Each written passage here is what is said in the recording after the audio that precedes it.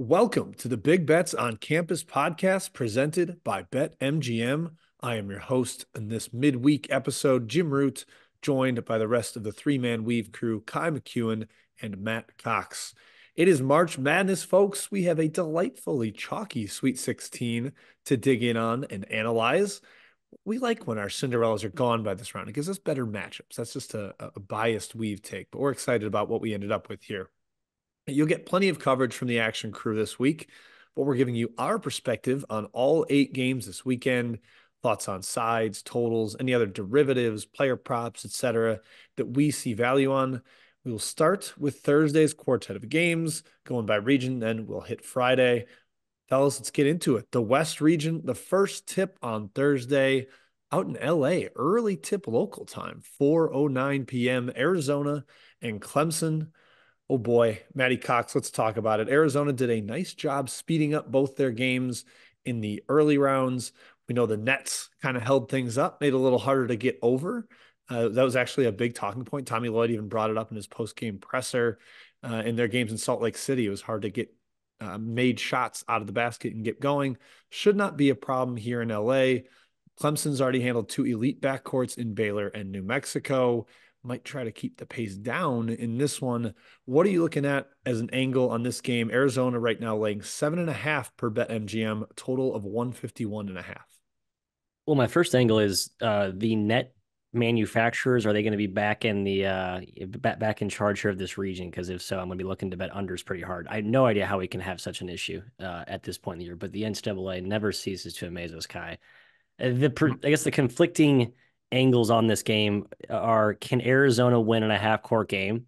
Did they prove they could against Dayton? Is that does that convince you enough that they can carry that forth and what will most likely be a half court game against Clemson? Versus is this Clemson run for real sustainable, which I think we'll probably get into similar parallels with NC State, another ACC darling, the other side of the bracket. Um, I've kind of come all the way in on Clemson, Ky. Like I, I know we talked about how good PJ Hall's been Chase Hunter's been really that guard revelation for them, um, making shots, adding a dose of dynamism to a backcourt that we basically made fun of for not having any um, all year. And, and Arizona's perimeter defense has been very impressive despite some cracks that emerged during the regular season, but it's not bulletproof, right? I don't think it's like a hounding Houston level or UConn level defense. I kind of like Clemson with the points just as I looked at the seven and a half opener, but I hate that I'm saying that. God. No, I agree, and I, I, do believe in Clemson. To your to one of your points in the preseason, we all liked Clemson. I, I believe, um, thought they were a top twenty five team for sure. Definitely could have competed for the ACC title. Obviously, didn't work out that way in the conference standings, but they were ten and one in non-con, and it, they looked legit. And they're kind of coming full circle. Uh, it is a bit of clash of styles. Yeah, Arizona wants to go out and transition, of course, every single possession. Clemson more half court, but not immune to to transition offense. Uh, Clemson's transition D, it's okay. It's not great. Uh, it will it will be interesting to see who wins the quote unquote pace about uh, matchup. The the angle or the matchup I'm looking for though the most is the front court. PJ Hall, Ian Schieffelin. I uh, it would seem they have an advantage against Oumar Ballo. They can both step out and shoot. Uh, they've been really good defending the post this season, and Arizona's had a little bit of issues defending on the block, and that's kind of surprising to me, just given that they have Ballo Hall and Schieffelin are are very scrappy front court players, versatile. I I, I kind of like them in this matchup. However, Arizona does have, I think, the dynamic guard edge, Jim. And my one worry though is Caleb Love, of course. Is he going to get? We're going to get the bad version or the good version of Caleb Love. Is he going to tighten up towards the end of the game if Clemson's close or winning? That's always the question. I agree with Matt. I, I like Clemson here at, at plus seven, plus seven and a half it's generally been good Caleb Love so far, or at so least far.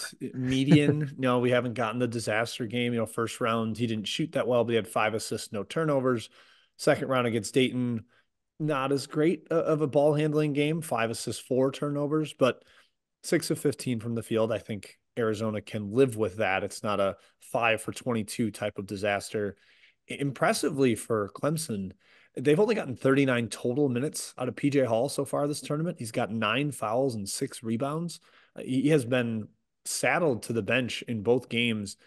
And I think that's the fear here too, with Ballo ranking top 100 in the country and fouls drawn per 40, could potentially put Hall on the bench again. And that's just one more game where they're testing how much can Chase Hunter keep delivering, uh, how much can that backcourt and really decent front court depth hold up against Arizona's brutish front line with with Ballo and Keshad Johnson giving a little more versatility. I have a hard time reading this game on the side, guys. I have, I have a real hard issue with it. I do lean to the under. I, I think Clemson can slow it down a little bit in Arizona. Uh, I know they only played uh, 146 points against Dayton, but 72 possessions. They did speed up a very half court team there. Uh, but I trust Clemson's very, very experienced roster to, to keep this in the half court. They know they can't run with Arizona and survive. So uh, not much of a lean on the side, but I do like the under. And I kind of like some of the PJ Hall under stuff because I think foul trouble could once again come back to bite him the way that it did in the first three rounds or first two rounds. To put a bow on that, I, I think the guy that no one talks about who's been quietly mega important for Clemson is Jack Clark. Um, super yep. important defender, uh, NC State castaway. Uh, I've kind of zoomed out, looked at his like the ebbs and flows of Clemson's season. Like when he's been in there and been healthy, uh, when he got put into the starting lineup, they've been awesome. He's been playing 30 plus minutes. To your point, Jim, if Hall's in foul trouble, um, I don't think there's any hesitation for Brownell to play him um, to play him in Schieffelin. Like obviously you miss everything that Hall gives you on offense, but I think defensively you still feel like you can compete and you hope your guards stay hot. Hope you can kind of slow it down and execute during those lulls or stretches. So yeah, I guess to your point, I like under and I like the Hall under uh, by association. I guess if you're looking to bet props. Yeah, Godfrey's been good for them too. I mean, that is a like big, deep front line. It is not just two guys. Like they can go three, four deep there. Uh, even Chauncey Wiggins, six ten guy that can slide inside, more of a stretch big, but can help them out there. So yeah, they're not going to get completely bullied. Uh, just worry about the foul trouble of these starters. That's that's the thing to monitor. All right, the nightcap in LA. UNC getting the one seed out west. Obviously, maybe not the ideal draw for them if they were to see Arizona in the final would be an extremely pro Wildcat crowd.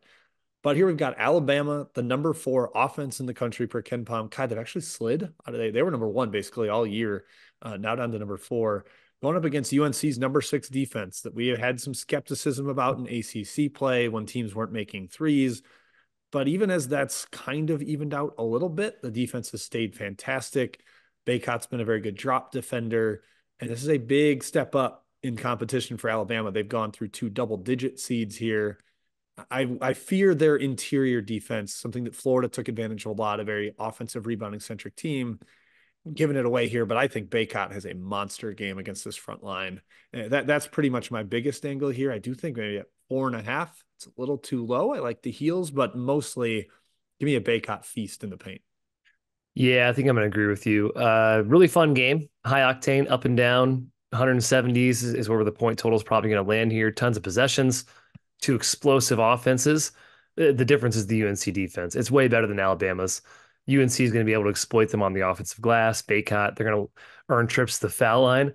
UNC's also guarded the three ball pretty well this year, and and obviously the three point percentage is clearly a little bit of luck, but they've also taken it away uh, to a, a decent extent, and that's obviously going to be a huge focus against Alabama. Offensively, Alabama transition, right? Handoff, pick and roll, that sort of action. UNC's transition defense this year, excellent. They don't allow much, also rank in the 99th percentile in points per possession allowed. Uh, obviously, a huge factor against Alabama. And then, yeah, Matt, on the other end, I don't see Alabama stopping UNC in transition. They haven't stopped anybody off the bounce all year, a little bit of a matador defense sort of thing going on. I have a really hard time trusting Alabama's defense in general. Um, so I'm going to agree with Jim's lean on, on UNC on the side. I kind of like Alabama. I I've been stubbornly convinced the defense is not as bad as the numbers indicate. I'll, I'll give you two feeble reasons as to why. Um, well, one, just look at last two games. Uh, Mo Dioubate, Dioubate, I can't say anyone's name. Um, was was an absolute monster. Changed the game against Grand Canyon. Was great against Charleston. Um, I think he had another versatile defensive piece to that lineup that I think kind of shifts that team to more of a balanced attack as opposed to like offense, offense, offense matador defense, matador defense, matador defense. Uh, also, just look at their their defensive like profile. The, notes Oats has been pretty gung ho on limiting three pointers for their opponents his whole career. This year, they've been much more, uh, much more shell like. I, I want to say, um, and so it, they they've allowed a lot more threes. I think it's actually helped them contain drill penetration a little bit better at times. Now it looked good against Grand Canyon. Obviously, Grand Canyon's disastrous offensive shot selection made their defense look better than it was.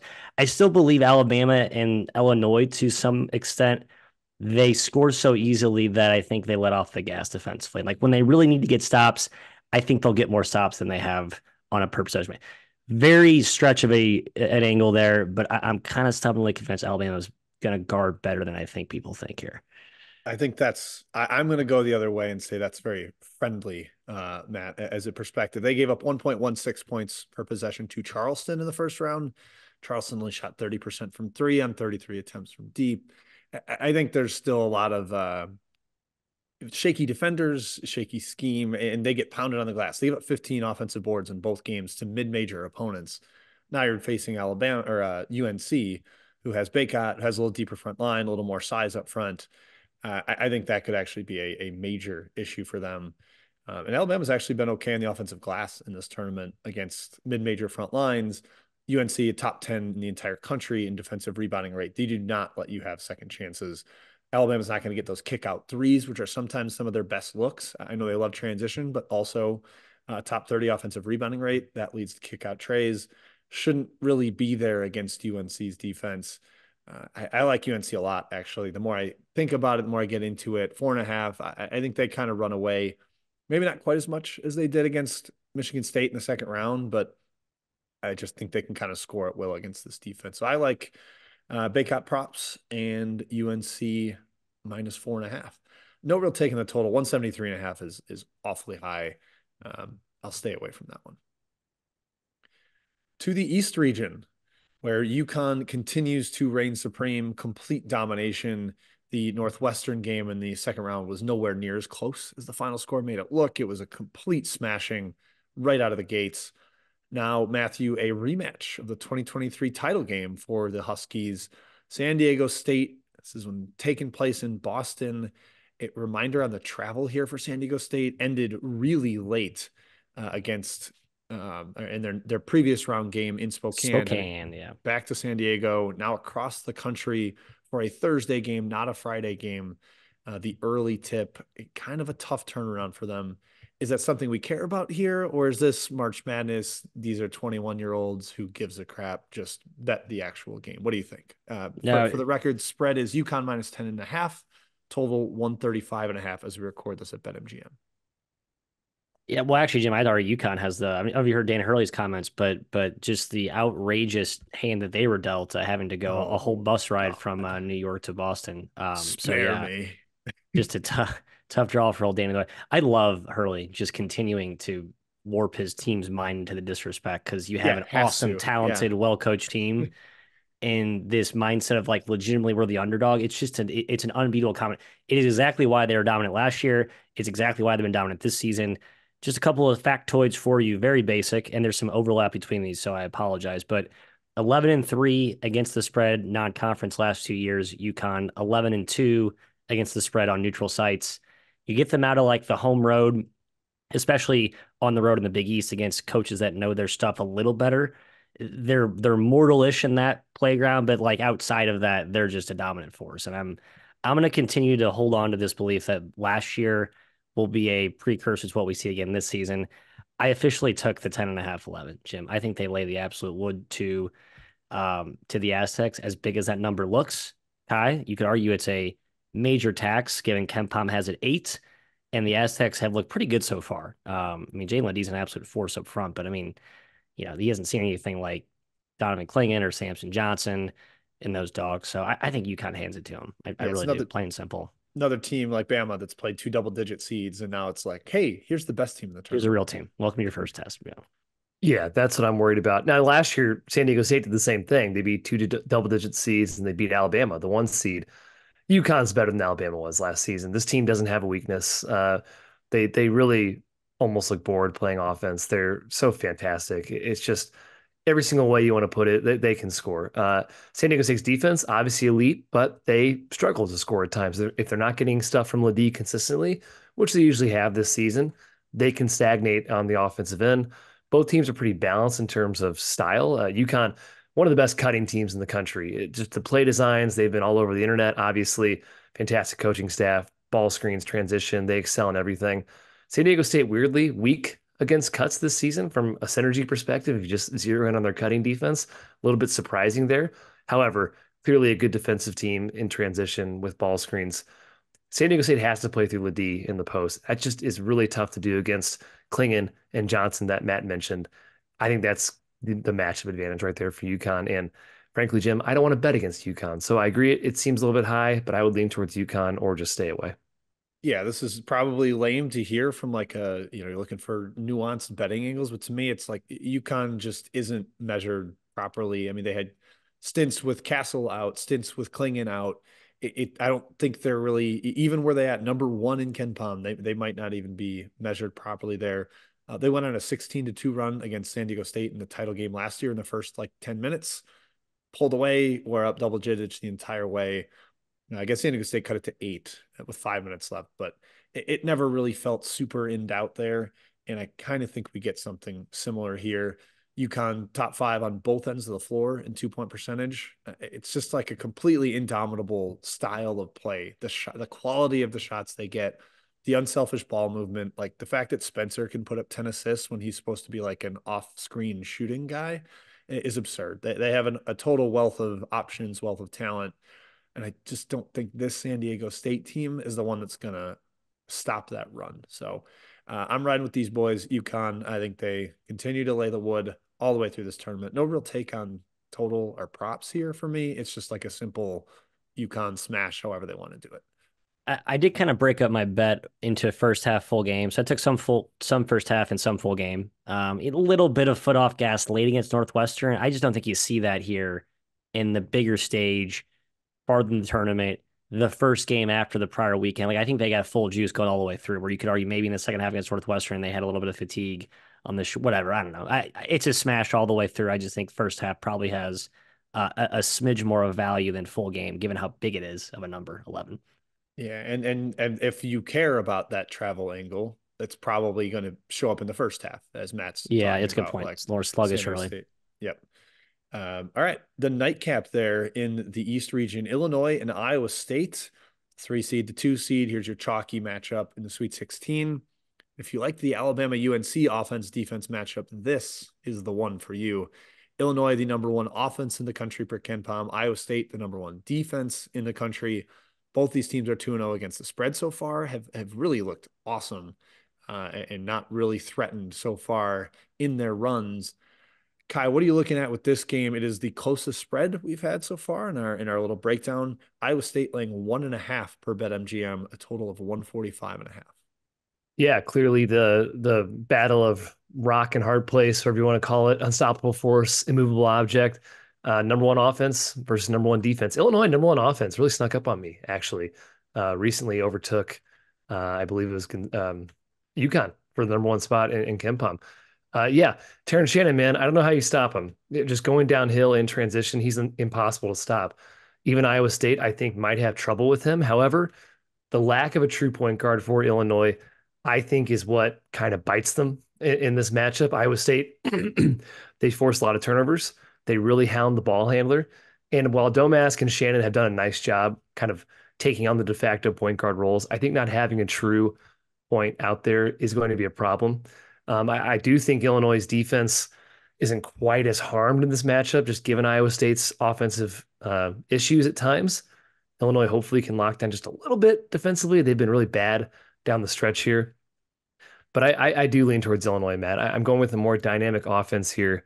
Uh, Iowa State, I just don't fully trust their scoring ability.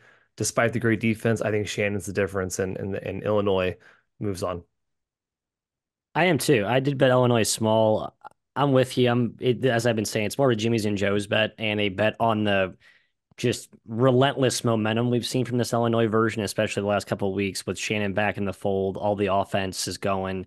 Dain Dainja and reemerging as an awesome uh, thunder to the lightning of Coleman Hawkins, I guess if you want to call it that.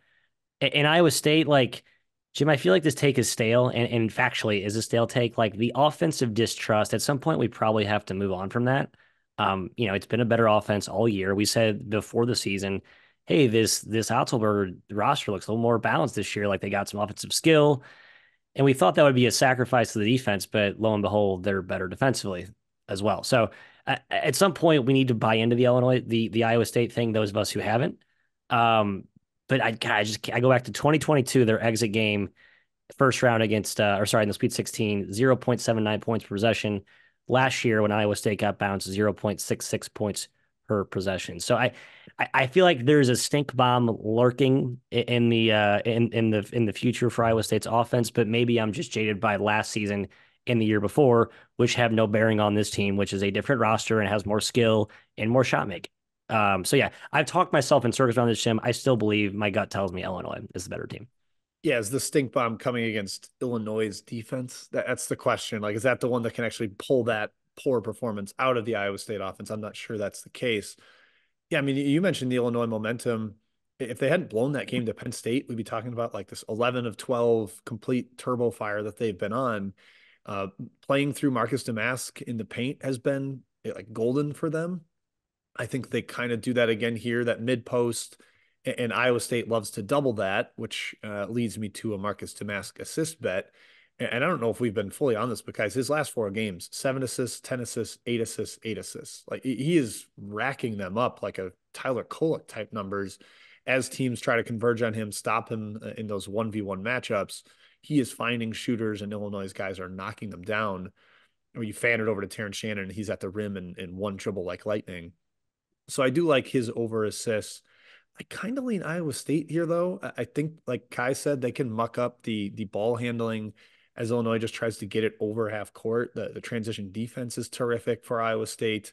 So getting into their stuff is going to be what's more difficult for Illinois. Uh, and then manufacturing points in the half court for Iowa State, that's something they've got to figure out. But Illinois' defense, like you know exactly what you're getting against it. It's drop coverage, not forced turnovers. They're ranked second in the country behind Creighton, and most mid rangers surrendered. So you have to think Iowa State's prepared and working on what they know they're going to see here. Uh, and I think that's kind of advantage Otzelberger on the prep. Um, so I, am going to go Iowa State there, but player prop wise, the Domask over an assist. Quick question for you both: Which one gives UConn, or, or would be capable of giving UConn a better game? Ky, I'll go to you first. There, just a, best version of the team. Illinois. Illinois, uh, far more talented. Yep, I, I, think that's I think it's correct. We saw Iowa State play UConn last year, and uh, okay, you saw it in person out in Portland, and yeah, UConn handled one by eighteen. Again, better version of Iowa State, definitely, no question about it. But uh, I still think it's a, a big gap for them to to climb there. All right, to Friday we go, starting in the South region. The only double digit seed surviving and playing this weekend it is no Cinderella. It is NC State, just an ACC squad, a lowly ACC squad. They are taking on Marquette in the opener down in Dallas. Matthias, I'll go to you first here. Marquette laying six and a half. Uh, can they guard DJ Burns in the post? Can NC State handle Marquette's devastating ball screen and off the dribble attack? It, me thinks there are points here. I just don't know if the pace is going to yeah. get there. I feel like efficiency is going to be high. Yeah, I, I agree with that. I, I don't worry as much about the Marquette guarding Burns. I worry about them getting just curling the glass. Burns is a part of the offensive rebounding attack for NC State, but as a team, like the Wolfpack aren't some crazy glass crashing team. So like that's my biggest concern with Marquette defensively. Like I know they're smaller, but they got Chase Ross back, Kolek's back, and the pressure on the perimeter is still really good, and they're still sound defensively the question with them is can they corral misses and get out in transition and get the offense going? Like that, that's where I think Marquette, like their defense does really fuel their offense. Shaka always says that cliche, but from them, like the way they play it really applies. Um, the other concern here is like I'm just looking at NC State. Like I don't want to over examine the path to get here in terms of assessing is this new version of them a real version, but they did beat a pretty brittle Texas Tech team that was kind of been running on fumes the last few weeks and they beat Oakland. And they needed overtime to do it. And Oakland didn't exactly shoot the lights out themselves either. So, uh, you know, NC State, the Burns thing is awesome. Part of me is like, okay, I look at that path and I'm not super convinced. But then I also look at this team, Ky, and I see like a team that has a really high ceiling just because of the Burns factor and how dynamic he is, but also their guards can take and make tough shots. It's mm-hmm. why they've, you know, it's burned them plenty of times in ACC play, but they can play to a, you know, a pretty high level. They can rise their game. And just to put a bow on that, uh, I know you'll see about a million goalpost moved, sliced, and diced ATS trends on Twitter all week, folks. But uh, underdogs of five points or more are 36 and 26 with a cover margin of 2.2 points in the Sweet 16 since 20, since 2005. So point I, I do think there's some real thing to dogs having momentum at this point. I just don't know if NC State's as real because of who they played in the context. Matt, you didn't bring that up when you wanted to bet UConn. You know, right, exactly. So the key is Jim handicapping and doing content shows is mentioning points that support your point and then conveniently just ignoring the other ones. That's just that's brilliant that's right. work by me. Brilliant yeah. work by me. Yeah, uh, I'm not convinced by NC State start, Matt. The, the Oakland game, yeah, they uh, could have lost regulation. I'm not convinced by Marquette start either, though. It's a dicey start to Western Kentucky game. They're down seven and a half. Colorado kept pace the entire way. It was impressive short shot making with both teams. That, that game was awesome. Uh, uh the question, actually, excuse me, I'm going to start with this. NC State, those guards you mentioned, yeah, they don't make mistakes, man. They, they're top 15 in turnover rate. Horn, Taylor, Morsell, they've been awesome uh, the, this uh, during this stretch here in the tournament, ACC tournament. And then, yeah, DJ Burns. Ighodaro is a good defender. He's giving up a lot of weight. He's giving up six, 60 pounds ish uh, to, to Burns. I, not many guys can stop him. NC State plays through Burns. He's a great passer. Heavy ball screens, heavy post for, for Burns. I would expect Marquette to extend zone looks, extend their uh, three quarter pressure into a half court setting, but not not sure uh, about that. Obviously, uh, NC State has been bad at, guarding ball screens. That's kind of Marquette's bread and butter. Tyler Kolek, obviously the best. Well, maybe not obviously, but I'll say one of the best point guards in the country right now. I, Jim, of the total aspect, I do kind of agree with your uh, over edge. It seems like efficiency will be high for both teams here. Um, I think NC State at the end of the day is a little bit easier team to game plan for. So I lean towards Marquette. Yeah, I like Marquette too. I, I, know Colorado kept that game close and ended up landing it four, but that felt like a little bit outlier shot making from Colorado in the stretch uh, down the second half. Marquette, uh, Kolek was really controlling the game. I don't think he made a jumper the entire game, but he had like 20 points, just completely controlling pace, getting downhill to his left hand when he needed to, getting uh, uh getting it off the glass and finding open shooters or open drivers. As we mentioned, the the efficiency stuff, Marquette's 47th percentile nationally defending post ups. I think Burns could give them serious issues there. And if Ighodaro gets in foul trouble, that's a problem. I think Marquette will double just to avoid the potential for foul trouble. And then the other end, uh, NC State 28th percentile defending pick and roll ball handlers. Like a lot of that has to do with Burns moving in space and, and not really being able to handle that we know Marquette is one of the most lethal ball screen offenses in the country. They can invert that with Ighodaro as the ball handler and Kolek screening for him. Or Kolek trying to, to screen DJ Burns. Good luck, bud. Don't get run over. Uh, but yeah, I, I, see plenty of routes to efficiency on both sides, but especially Marquette. Uh, I think they're going to score. I lean that minus six and a half in the early tip in Dallas. The night. About, real quick. Sorry, oh, I just hit me. Just kind of like aha epiphany. Michael O'Connell. I know he's played well lately. But look who he's played well against. Like Michael O'Connell against pressure, like real pressure. Yeah, he had a nice game against Oakland's, you know, whatever zone. Like I'm looking at his worst games of the year. Texas Tech, goose egg. He played actually really well. They actually gave it six assists. But like his worst games have clearly come against bad teams. I mean, good teams. Uh, I think he is just in for a rude awakening, and they they're going to need to try and move him off the ball and let Horn and Taylor and Morsell do more of the work. Um, uh, that that's a very obvious adjustment that Keatts needs to make in this game early. Just to just a thought. I bet. Do you do you think less minutes? Are we are we betting Michael O'Connell unders? I think less. Yes, yes. Thank you. It's there a prop betting show, Jim. Very good. Um, except if you're Jontay Porter, don't close your ears. But yes, I agree with you, Michael O'Connell. Um, I think he will be reluctant or um, relegated to a lesser role in this game. Valid, valid point.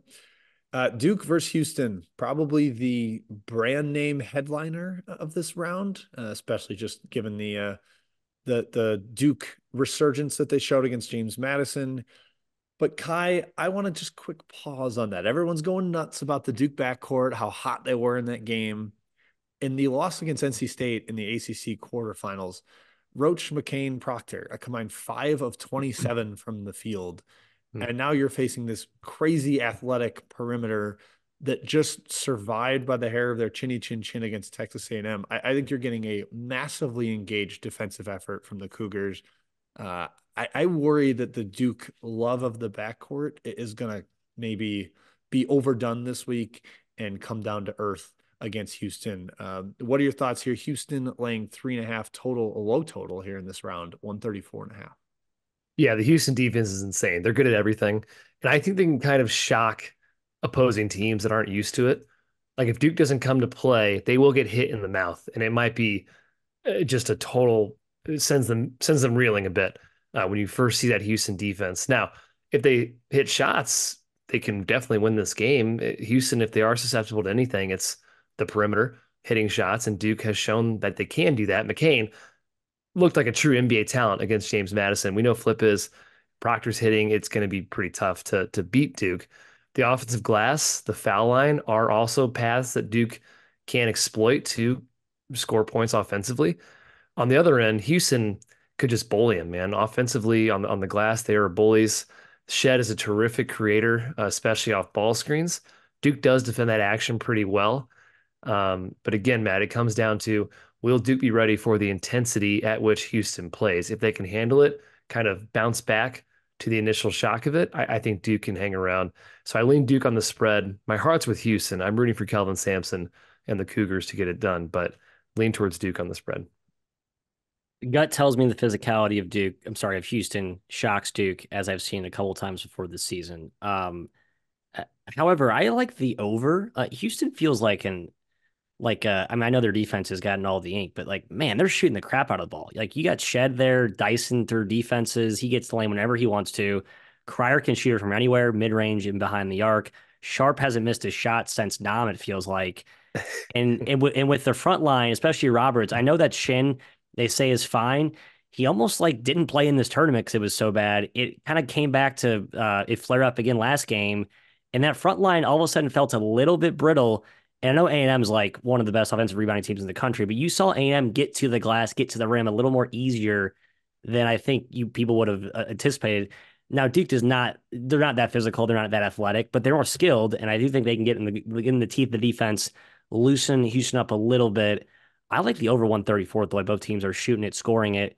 And with some of the concerns I have with both teams' front lines defensively, Sean Stewart, a big X factor here. But if Jon Scheyer plays Ryan Young for more than 10 minutes, I will be calling his phone directly um, the day after. Final point here, Jim. The whistle will be a frustratingly important part of this.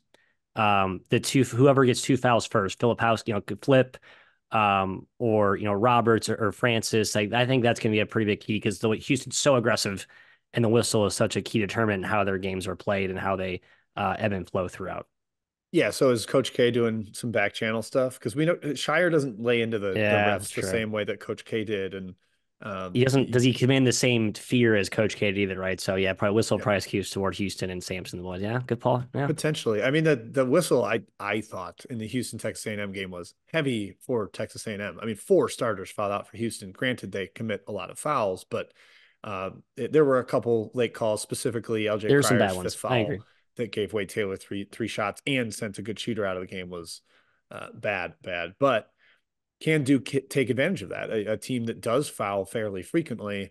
Duke's only 136 nationally in free throw rate. It's not something that they do all the time, especially their guards are not guys that put rim pressure on you. They are shooters. They are skilled guards. Only Mitchell and Filipowski really put pressure on you to get to the stripe. So I think that actually does favor Houston a little bit. Uh, and I, I totally agree with like the, I, I, thought James Madison's toughness would would give Duke a little test, but it turned out Duke was so hot from the opening tip that it didn't end up fully mattering.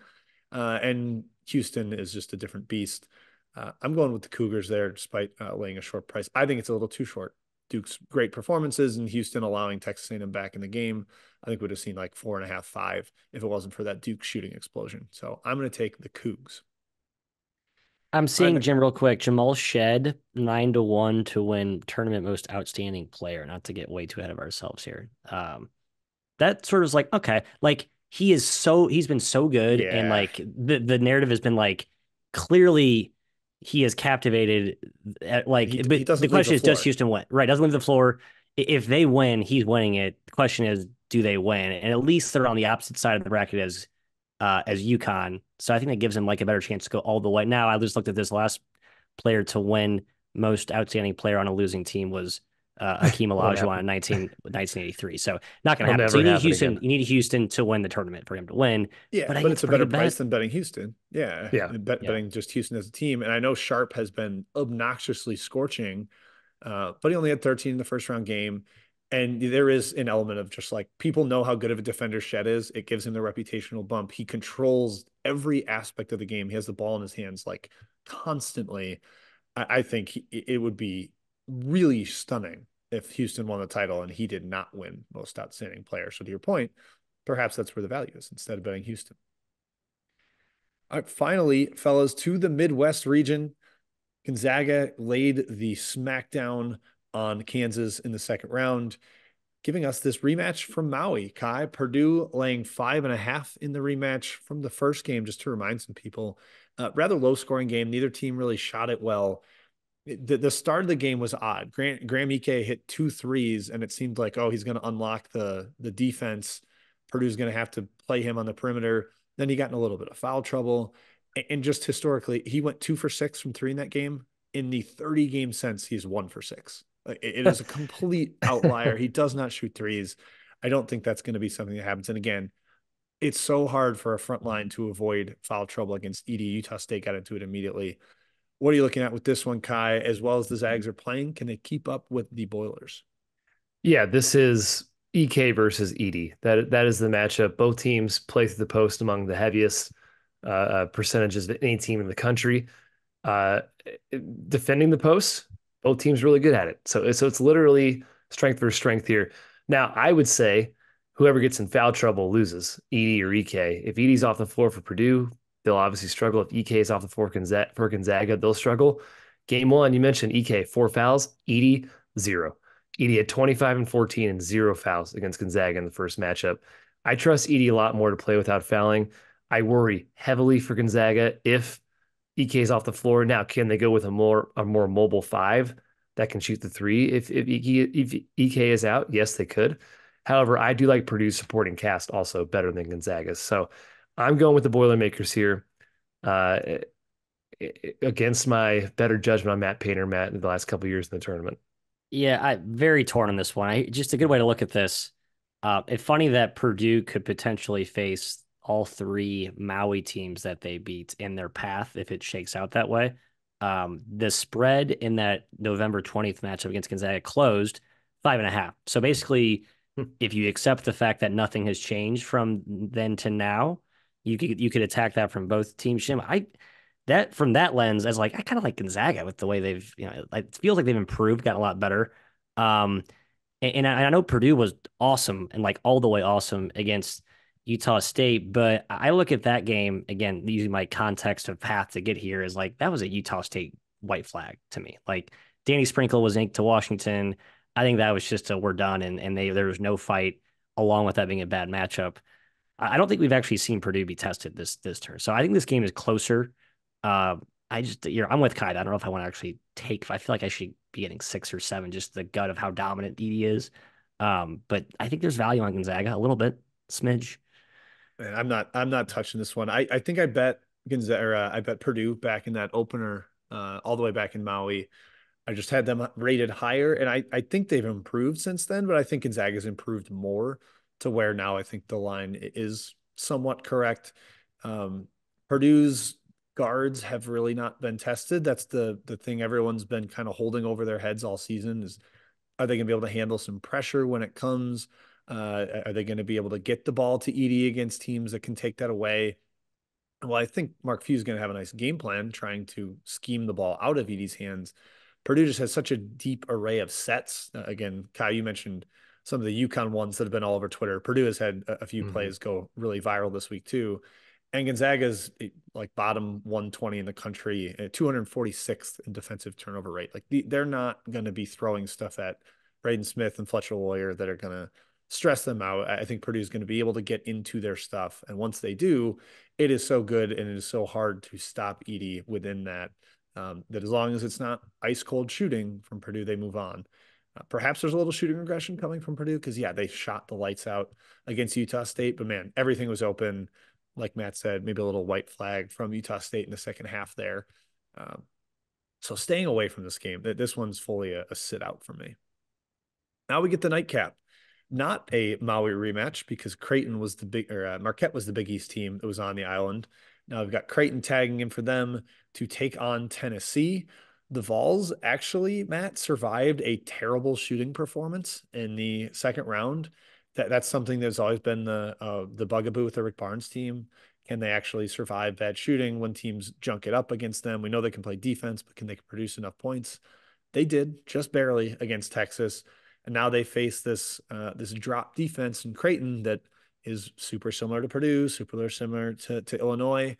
Uh, can the Vols hit enough mid rangers and, and, can they limit the jump shooters of the Jays enough to cover here? Minus two and a half per BetMGM, 143 and a half total in the nightcap. No, you hit all the matchup points. I, this is a simple handicap for me. I just gut tells me I like betting Greg McDermott against Rick Barnes. Like um, it's a simple narrative. And it's going to be cited all over Twitter, Ky. I just feel like I'm getting bonus points with the better coach, with the team who I liked better in the preseason. Now, again, I know a lot's changed since then, but you know we've seen some of the data come out about how there's never been a team, I believe, in the top, uh, not in the AP poll, to make a Final Four run. Like I think there is some evidence that preseason expectations is there's some predictive power and how high your ceiling is, how far in this tournament you can go. We've seen KenPom, I think, talk about that on Twitter. So I, I kind of like trusting my initial priors with Creighton here, Ky. Um, but yeah, tough. It, this one, high variance game, right? A lot of threes. If you can predict who's going to make shots, as is the case with any bet in this stupid sport, then uh, you'll probably be okay. But this one, I think, especially has a high variance outcome. What was the preseason AP AP poll thing? Uh, I don't have the exact, but KenPom talked about how um, the I think if you're not out in the top 25 of the preseason uh, poll or top 30 receiving votes, you've never made it past the Elite Eight. Let me find the exact tweet. I think I'm pretty Tennessee sure was, Tennessee was number six. Tennessee definitely was. Poll. Yeah, Tennessee was ranked highly in the in the preseason. I think Matt's just kind of using it to say oh, that. Oh yeah, sorry. Right. So point value. being, yes, very good point. I'm using my own preseason. Like basically, I thought Creighton was better in the preseason. I think preseason stuff matters. Nine, yeah and I'm anchoring to that more. Okay, yeah, they're eight nine. They're eight nine preseason poll, Creighton slightly above. I mean, I I think Tennessee's been top ten all season, even preseason stuff. So I, I I guess I disagree with you not thinking they're top twenty five or whatever it was, but I I think it's hard to bully Creighton. Uh, and that's what Tennessee's been doing to teams. Kalkbrenner, a stout defender. I just really hate the Jays can't force turnovers. Uh, that gives them a thin margin for error. And maybe you say the same thing about Illinois, but the Jays are just like so extreme. It's like they're not creating advantages with their defense and and or at least causing turnovers. That's I think a, pro- a problem. Shooting is going to be huge for them. Three point shooting, they can't get inside looks. They're a great two point percentage team. Creighton finishing inside mid range. Tennessee just doesn't allow that. Top ten in the country in two point percentage defense. The Vols also defend screens well. Creighton a lot of off ball screening motion right to get shooters open. I think Tennessee defends that action pretty well. I think Dalton Knecht's a matchup issue for really anybody. And I think he's a matchup issue for Creighton as well. I lean towards Tennessee here. Um, not strong, short spread, obviously, but I, I, I like I like the Vols. Yeah, I like the Vols too. It doesn't feel awesome to say that about Rick Barnes and the tourney, but I don't think we get two terrible Dalton Knecht shooting games in a row. And he was five for 18 from the field against Texas. Now he's going to get like open mid range jumpers all the time against this defense. I think he can knock those down. That's super high release, even if you've got somebody chasing him. Uh, I'm not too worried about that. Tennessee is 65th nationally in mid range shooting percentage. Like they can handle that. And Creighton gives up the highest percentage of those shots in the entire country. So you'll see Tennessee firing away from there. Uh, I also, you know, Matt, you, the Will Warren's newsletter and some of the Jordan Majewski site write ups that talk so much about shot volume like I, I feel pretty confident Tennessee's going to take more shots in this game because Creighton doesn't force any turnovers. They do not go after the offensive glass. Every game for them is so reliant on making a, a higher rate of shots than their opponent. And Tennessee can actually shoot it this year. I, I know they're not quite at the level of Creighton in terms of knocking down jumpers, but they have shown much improvement. And again, uh, coming off a nightmare performance, I, I, think you see a little bit of uptrend in their uh, ability to hit shots. So I, I, think Knecht might be a decent over bet in terms of yeah, player props. I agree. Plenty of uh, opportunities uh, to, to gun. Yep. And, and then I, I, do lean Tennessee there just from a matchup perspective. Worried about the coaching thing, but uh, as I don't believe McDermott's ever been to the. Uh, I guess he made the Elite Eight last year, lost right at the the cusp of the Final Four. That was his yep. first time there.